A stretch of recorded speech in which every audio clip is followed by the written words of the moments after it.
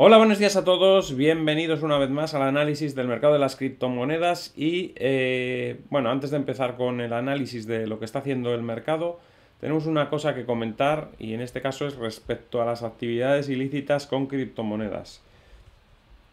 Esta noticia nos dice que las actividades ilícitas con criptomonedas alcanzaron máximo histórico de 20.000 millones en 2022, pero ojo, representan solamente un 0,24% del total de transacciones cripto del año. Es decir, es residual la actividad ilícita que se hace con criptomonedas. Lo digo para cuando escuchéis a eh, gente del Banco Central o, políticos diciendo que se utilizan para actividades ilícitas, pues ya veis que eh, se utilizan residualmente para actividad, para actividad ilícita, un 0,24% de las transacciones de total del año. Y encima es menos que eso, es menos del 0,24% porque ahora veremos que dentro de esas actividades ilícitas se incluye como ilícitas las que se hacen por sanciones. Los países están vendiendo cosas em, con criptomonedas o a cambio de criptomonedas, están eh, haciendo transacciones con criptomonedas para eludir sanciones, lo cual ilícito pues sería entre comillas, porque seguramente están vendiendo alimentos, están vendiendo energía, están vendiendo cosas, cosas lícitas, no están vendiendo armas, ni están pagando a terroristas, ni nada de eso. O sea que... Eh, y esa es la mayor parte de, las transacciones ilícitas, con lo cual todavía es más bajo, si, si quitamos esa partida, todavía es más bajo las transacciones ilícitas, o sea, las que serían de peor rango, digamos, que sería pues que estés vendiendo armas al mercado negro o cosas así, ¿no? O sea, Fijaros qué irrisorio es las actividades ilícitas, que son 0,24% sumando las sanciones de los países, y esas sanciones de los países es una parte grande de esas, eh, de esas eh, actividades ilícitas con criptomonedas. Nos dice por segundo año consecutivo las transacciones ilícitas con criptomonedas rompieron su récord histórico al registrarse más de 20.000 millones de dólares en volumen de transferencias vinculadas con actividades ilegales durante 2022, según los datos de Chainalysis, lo que representa aproximadamente el 0,24% del volumen transaccional total en criptomonedas durante el año pasado.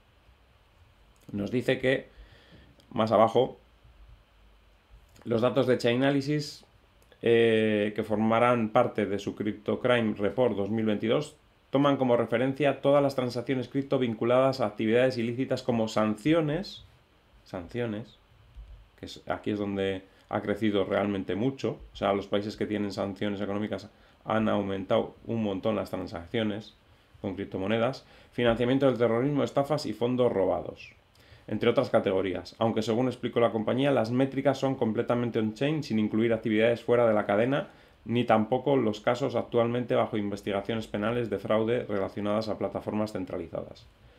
Los más de 20.000 millones de dólares en transacciones ilícitas con cripto fueron impulsados en gran medida por el aumento de las actividades relacionadas a entidades con sanciones económicas, que representa un 44% del volumen total de actividades ilícitas en el 2022. O sea, eh, diciendo además lideradas por el criptointercambio ruso Garantex. O sea que eh, el 44% encima de todas esas transacciones ilícitas, que ya de por sí son pocas, que solo representan el 0,24%, es casi la, casi la mitad, es hecha por eh, personas que están sancionadas, o bueno, o en este caso estados que están sancionados, ¿no?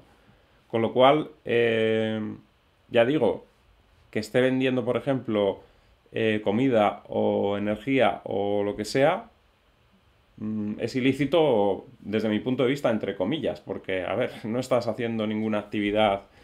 Em, si estás vendiendo comida, eso no es nada peligroso ni, ni mucho menos, ¿no? Entonces, bueno, es ilícita entre comillas, porque alguien dice que es ilícita, porque alguien ha sancionado eh, según un criterio político al final. Entonces, bueno, quiero decir, lo que realmente diríamos, o lo que yo diría actividades ilícitas, es todavía menor, porque eh, para financiación de terrorismo, para armamento eh, y cosas así más, más turbias, como vemos, es la mitad todavía de lo que nos están diciendo. Con lo cual, eh, estamos viendo que cuando nos están diciendo que, las criptomonedas se utilizan para, para, financiar el terrorismo y para estas cosas, estamos viendo que es una porción tan ínfima que acusar de eso a Bitcoin pues es un poquito hasta chiste, ¿no?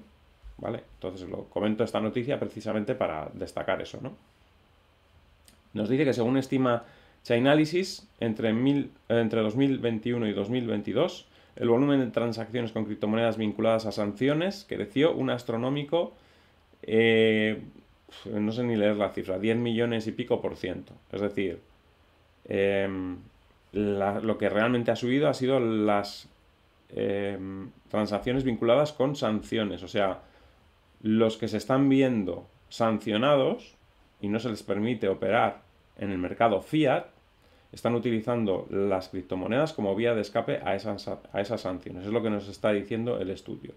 Por su parte, la mayoría de las actividades criminales asociadas a cripto disminuyó su actividad en 2022. Es decir, la mayoría de las actividades criminales asociadas a cripto disminuyó en 2022. Es decir, cada vez se utilizan menos para actividades criminales. Criminales, que no sanciones, ¿vale?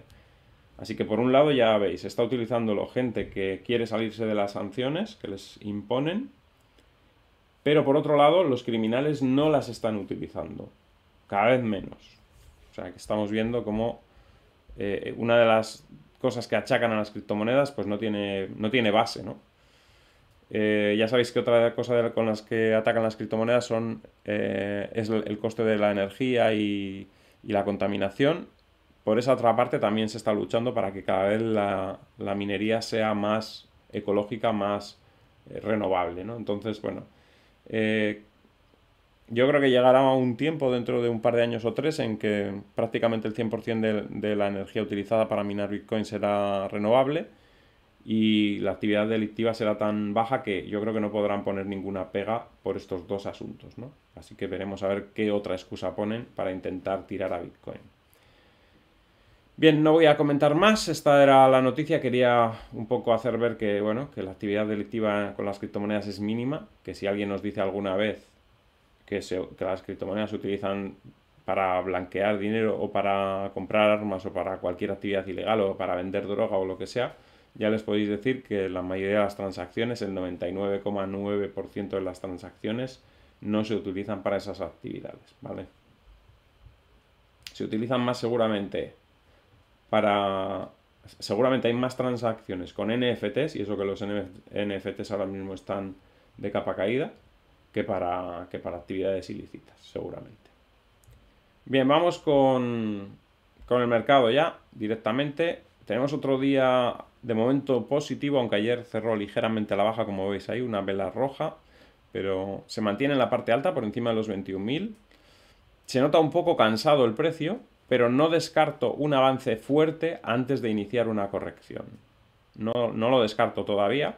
Podríamos corregir desde este punto algo, pero no descarto un avance fuerte antes de iniciar una corrección. Entonces, como no sabemos el punto de, corrección, pues nada, tendremos que seguir esperando a ver qué pasa.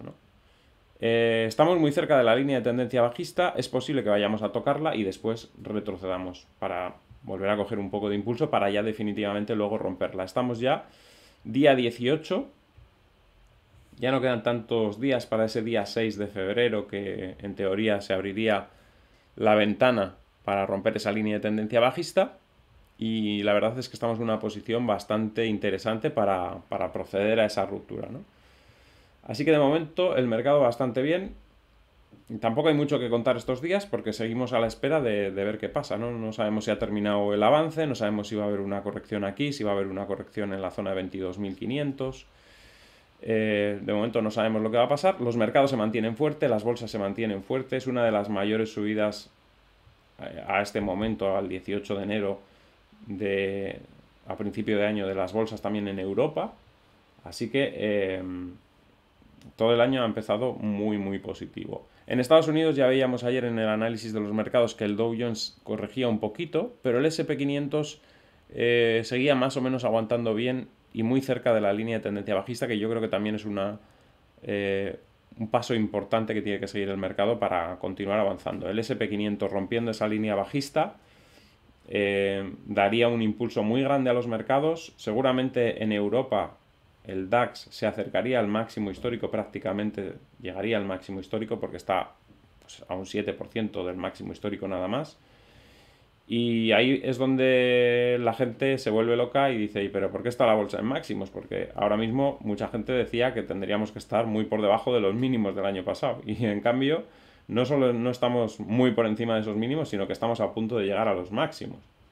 La gente pues no se lo explica, pero yo ya lo he comentado muchas veces cómo funciona la bolsa y no hemos tenido en cuenta tampoco la inflación. La gente no ha tenido en cuenta la inflación y que un dinero que vale menos pues tiene que reflejar mayores precios incluso en las acciones. Es decir, incluso aunque lleguemos a máximos, estamos hablando de que con la inflación ese máximo en precios no significa máximo en valor. Significaría que habríamos perdido lo que la inflación ha perdido, con lo cual todavía estaría en negativo el mercado a pesar de que los precios nos estuviesen marcando máximos, ¿vale? Porque en valor estaríamos en negativo. Eso mucha gente no lo ha tenido en cuenta en todo este proceso, pero es así. Bien, vamos a analizar el resto del mercado. Como veis, las altcoins están un poco flojas hoy, casi todo cayendo. Se mantiene fuerte Bitcoin, pero las altcoins no. Vamos a ver un poco todo. Eh, caída de One Inch, que parecía que no tenía eh, mucho potencial bajista, pero que todavía nos, nos, da un giro de tuerca más ahí en la parte baja. AVE, en cambio, estaba muy fuerte, eh, y corrige un poco, pero fijaros que no pierde, no pierde mucho de lo ganado ayer, pierde un poco nada más, se alejó mucho de los 3.600, Cardano se ha estabilizado en esa zona de 1.630, no termina de rebotar, eh, de momento pues no me fío mucho porque todavía está lejos de la línea bajista y podría caer a apoyarse en ella. Algorand un 2,13% abajo, continúa con el descenso, puede que nos marque un doble suelo en el caso de, Algo, de Algorand, eh, se vaya hacia la zona de los 1020 más o menos y desde ahí vuelva a subir, ¿no? Eh, Atom 0,30% abajo, también estos días bastante mal, ha perdido niveles de soporte que parecían difíciles de perder. Al final están cayendo porque Bitcoin se está manteniendo muy fuerte. Contra el dólar no es que estén cayendo mucho, están teniendo una ligera corrección, pero contra Bitcoin evidentemente pues sí se está notando, ¿no? AVAX, eh, que ayer casi volvía a tocar los 8.611, vuelve a caer hoy, pero creemos que va a superar esos 8.611 en el medio plazo, aunque en el corto plazo podría caer hacia la zona de los 7.500, no lo descarto, pero luego en el medio plazo creo que irá bien. Van, eh, mala pinta técnica está cogiendo, si pierde el mínimo que tiene en la zona de los 820 puede caer todavía bastante, Eh, la dominancia de Bitcoin se mantiene alta y eso es bueno. Ya lo hemos comentado un montón de veces. Cuanto más alta esté la dominancia, mejor. BNB repitiendo. Ayer veíamos que había quema de tokens de BNB. Bueno, eso está bien. Pero de momento el precio contra Bitcoin no repunta. Contra el dólar se mantiene. Fijaros que está en 300, pero contra Bitcoin no. Y bueno, hasta que no haya... Eh, hasta que no note el mercado que Bitcoin va a estar un poco eh, consolidando, pues no, no se animarán con las altcoins. En el momento que, Bitcoin esté consolidando, pues se animarán más con las altcoins. CHR en zona de soporte, no sé si va a bajar un poco más, pero yo ya considero que esta zona está bien, los 664 me parece que están bien. Eh, Chile por debajo de los 665, yo creo que también lo recuperará, pero bueno, lo mismo cuando el mercado esté un poquito mejor, cuando Bitcoin esté un poco más estable. Compound perdiendo los 2.434. Ayer decíamos que parecía que no, no tenía suficiente fuerza para aguantar por encima de ese nivel y parece que va a corregir. DOT un 1,14% abajo. Se le ve más o menos bien a DOT, a pesar de la corrección de hoy. La subida de ayer fue muy interesante. Está muy castigada con respecto a Bitcoin y es posible que tengamos recuperaciones en el medio plazo. Elron también saliendo al alza poco a poco contra Bitcoin, ha tenido muy mal comportamiento este principio de año comparado con otras monedas que se han comportado mucho mejor, pero yo creo que desde aquí sí que tiene bastante potencial. Ethereum sube un 0,27%, se mantiene por encima de los 0,0318, mientras esté por encima de ese nivel no tiene ningún problema. Fed retrocede un poquito desde la subida fuerte que tuvo ayer, pero se sigue manteniendo alcista. Todavía podría seguir subiendo un poco más, quizás. IOTA 0,69% abajo. Eh, es posible que esté dibujando un doble suelo, pero para confirmarlo tendría que superar los 1090, 1092, perdón. Una vez que eh, completase eh, ese doble suelo, el potencial alcista es bastante grande. Estamos saliendo de una zona muy mínima, muy de mínimos. Eh, Cava subiendo un 1,58%, llega hasta la primera zona de resistencia, que es esa línea, pero tiene pinta de romperla incluso, ya lo decíamos estos días atrás, que se le ve con buena pinta y con posibilidades de comportarse incluso diferente que el mercado, es decir, salir al alza, aunque el mercado de momento está un poquito estancado como estamos viendo. KMD también parece que quiere remontar hacia la zona de 1200, aunque todavía no arranca con claridad. KSM un 1,78%, muy bien después del arranque también fuerte que tuvo ayer. Veíamos a DOT que, bueno, no tiene mala pinta, pero KSM parece tener mejor pinta. Y si rompe esta línea bajista en la zona de 1750, pues podríamos tener subidas importantes hacia la zona de 2200. Link eh, vuelve a bajar hasta la zona de mínimos de ayer y antes de ayer. La vela de ayer fue positiva, envolvió la anterior, la de hoy se vuelve para atrás, pero ya habiendo hecho la vela de ayer, da la sensación de que esta zona ya pueden ser los mínimos, aunque tarde 3 o 4 días en salir, no parece que se vaya a perder esta zona, eh, o si se pierde no creo que sea por mucho. Litecoin todavía podría tocar el soporte, esos 0,003962, pero creo que también está a punto de darse la vuelta.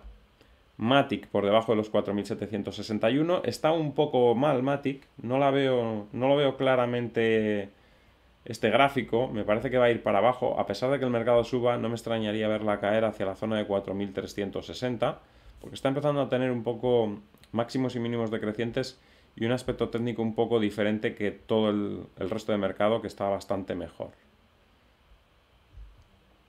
Nier 2,20% abajo, eh, bueno, está corrigiendo estos días. De momento no sabemos si se va a parar en este soporte de los 9.750 o va a caer hasta la línea de tendencia para después repuntar, pero en teoría en el medio plazo debería seguir repuntando.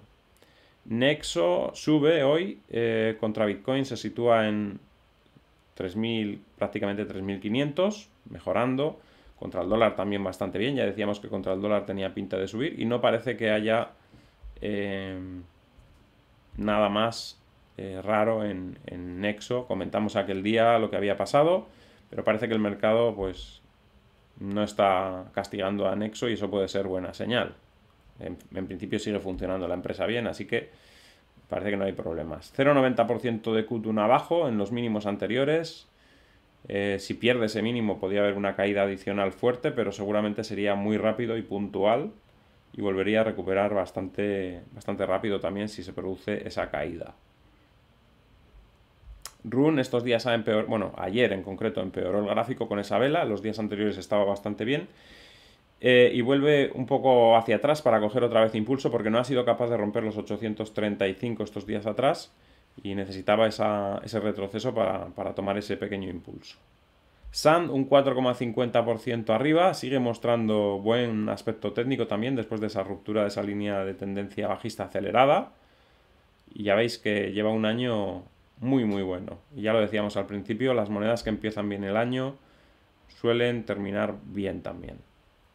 Sol retrocediendo, ya se puede anular esa vela que decía, o sea, perdón, esa banderita que decíamos que podía estar dibujando y entra en corrección y puede haber corrección fuerte porque ha subido mucho, así que ojo, Ojo con esta moneda porque puede caer bastante. Uniswap 0,40% abajo, también mal. Estamos viendo mal las monedas de los exchange descentralizados. Ya hemos visto también OneInch.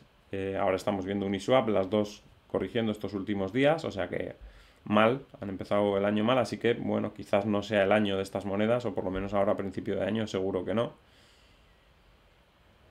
Eh, Monero, un 1% de rebote. Eh, ha rebotado un poquito entre ayer y hoy, pero ni siquiera ha conseguido recuperar lo que cayó hace dos días. Así que tampoco nos podemos fiar mucho de ese rebote porque podríamos continuar con los descensos. Ripple, 0,22% arriba. Creemos que está en suelo o que está muy cerca de suelo. Podría caer todavía un poquito más hacia la zona de 1760 eh, más o menos o 50. Pero pero yo creo que ya no le queda mucho recorrido a la baja y que es más probable que rebote. ZKS retrocede un 0,62% después de un buen rebote ayer. pero yo creo que puede rebotar más todavía. Ha sido castigada, yo creo que en exceso. Cílica cayendo de nuevo hacia las líneas de soporte en teoría. Decíamos que podía caer a 114 más o menos antes de volver a subir. Y ZRX intentando consolidarse por encima de la línea de tendencia bajista. Mejor aspecto técnico. Justo está en una zona de resistencia. Esta zona de los 1000... 1010 más o menos, y si superase esa zona de 1010 al cierre con claridad, podríamos tener un recorrido alcista importante en ZRX. Y bueno, volvemos a Bitcoin. Eh, ahí está, en 21.200. Ya digo que estos últimos días ya le está costando más. De subir va a ser una subida brusca y rápida para seguramente después corregir. Esa es una alternativa. Y la otra alternativa es corregir desde el punto en el que estamos actualmente también rápido y, también una corrección corta y rápida, ¿no?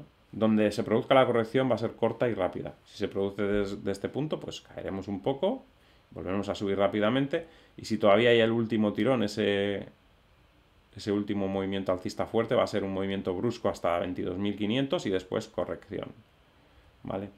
Para estabilizarse un poco ahí y eh, acercarse a esa línea bajista en esta zona de por aquí para romper. Y luego ya a partir de la ruptura es donde tiene que volver a mostrar fortaleza. La fortaleza que nos ha mostrado rompiendo esta línea bajista tiene que mostrarla otra vez aquí en movimiento más macro, en movimiento más grande, más amplio, ¿vale? Esto ha sido un movimiento pequeño por una ruptura de una línea acelerada. La línea principal es más importante y debería desencadenar movimientos todavía más importantes que los que ha desencadenado esta ruptura de esta línea bajista de corto plazo, ¿vale? Así que bueno, eh, ahí estamos. Vamos a ver cómo evoluciona los próximos días. Es clave eh, que los próximos días se decida. O sea, o que salte ya definitivamente hasta los 22.500 rápido y corrija, o que corrija desde aquí para tomar un poco de, de aire en esta zona y avance hacia, por la, hacia la línea de tendencia bajista para romperla ya definitivamente. Así que nada, eso es todo por ahora. Espero que os haya gustado el vídeo. Al que le haya gustado que dé un like, compartid en redes sociales para que el canal pueda seguir creciendo. Si no estáis suscritos, suscribiros y dadle a la campanita con todo para que os avise cada vez que hay un vídeo nuevo. Y nos vemos en el siguiente vídeo. Hasta luego.